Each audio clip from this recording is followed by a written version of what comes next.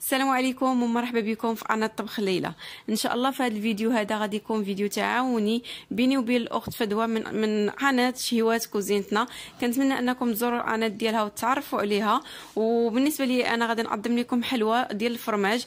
كنتمنى تنال إعجابكم هي كتجي لذيذة بزاف وهشة وكتذوب في الفم. وكنتمنى انها تنال إعجابكم بلا ما نطول عليكم. نخليكم السلام عليكم ومرحبا بكم في شيوه من شيوات كوزينتنا. الفيديو ديال اليوم إن شاء الله غادي يكون عمل مشترك مع صديقتي ليلى من قناة طبخ ليلى الغنية عن كل تعريف. من بعد ما تشوفوا الوصفة اللي مقترحة عليكم اليوم ما تنساوش أنكم تزوروا قناتي باش تعرفوا على الحلوه اللي غادي نشارك معكم اللي هي حلوة بسيطة بدون فرن. نتمنى أنها تنال إعجابكم. ما تنساوش أنكم تشاركوا معايا في القناة. مرحبا بكم في عالم المتواضع. وواشركم مبروكة. غادي نحتاج إن شاء الله في هذه الحلوة. عندي هنا 125 غرام ديال الزبدة تكون بحرارة المطبخ نص كاس ديال الزيت كاس صغير ونص كاس ديال السكر كلاصي عندي ثلاثة الفرماجات مثلثين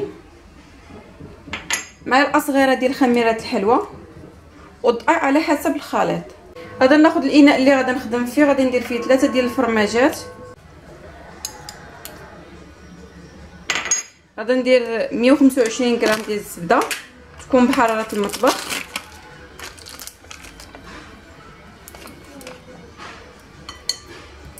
ممكن ديروا حتى الزبدة ديال العبار.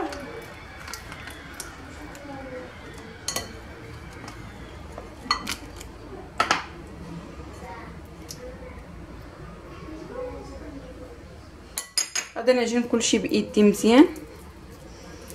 باش تنسجم بالزبده مع الفرماج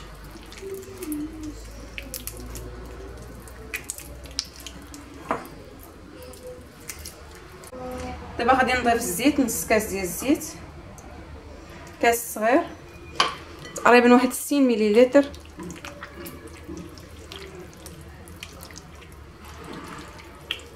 وغادي نضيف سكر كلاصي نص كاس صغير حتى هو.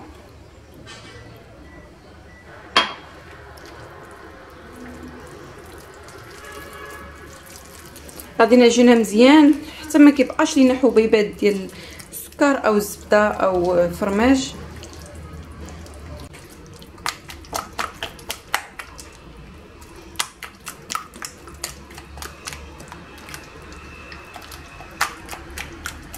دابا غادي نضيف واحد المعلقه صغيرة ديال خميره الحلوة.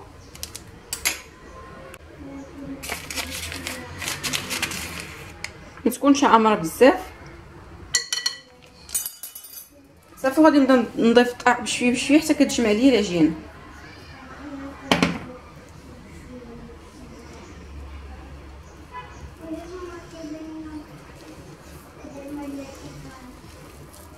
ممكن تضاعفوا المقادير أنا استعملت غير نصف المقادير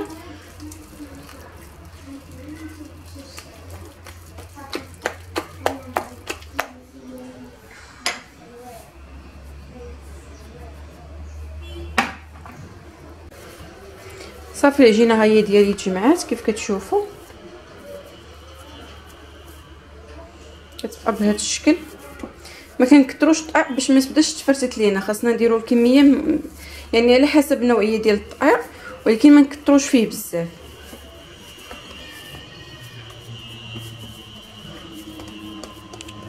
غادي ناخذ العجينة ديالي غادي نشكلها على حسب الحجم اللي بغيتو نتوما بشكل دائري.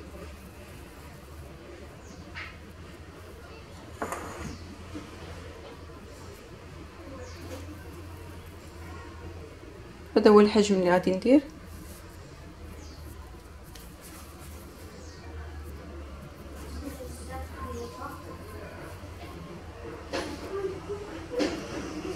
من بعد ما دورت العجينة كاملة غادي ناخذ وحدة.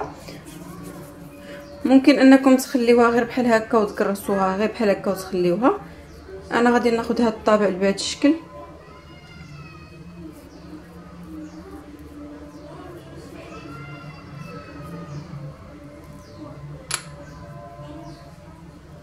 غادي نحطها في لاطاي اما مدهونه بالزيت أو محطوط عليها ورق الزبده.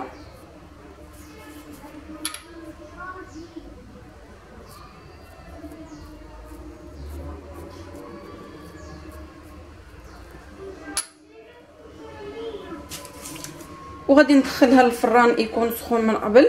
درجة الحرارة 180 درجة يعني متوسطة. حتى كطيب هي ما كتاخذش الوقت كثير دغيا كطيب.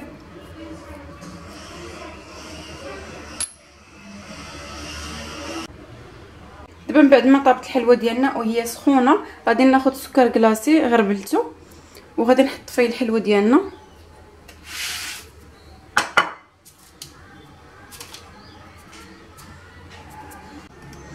غادي نديرها مزيان في سكر كلاصي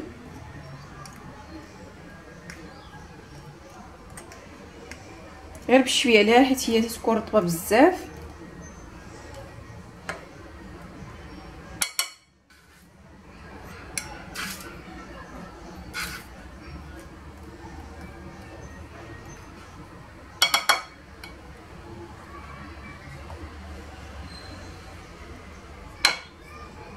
كيجي هذا هو الشكل ديالها.